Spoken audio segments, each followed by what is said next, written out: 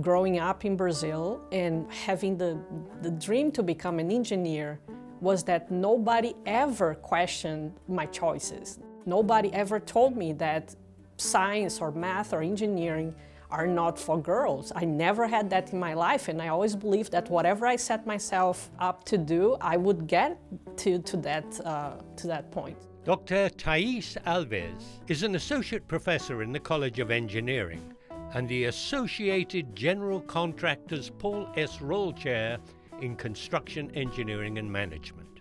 Dr. Alves's work focuses primarily on lean construction, an holistic approach to construction management that aims to minimize waste and maximize value at all levels of the construction process. At first, I wanted to be a structural engineer, but I discovered very fast that I didn't want to be in front of a computer the whole day. I don't have a lab on campus. My lab is the construction site, wherever it is, and construction organizations. And I love meeting people and talking to them and knowing about their, their stories and how they do their work. Though her research gives her great satisfaction, Dr. Alves's real passion is her students, who, as she puts it, build the world we live in.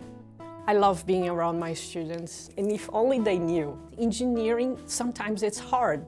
It takes a village, but you should persevere, you should continue, and they go out there and they do amazing things. That's the best job in the world. You help people accomplish their best.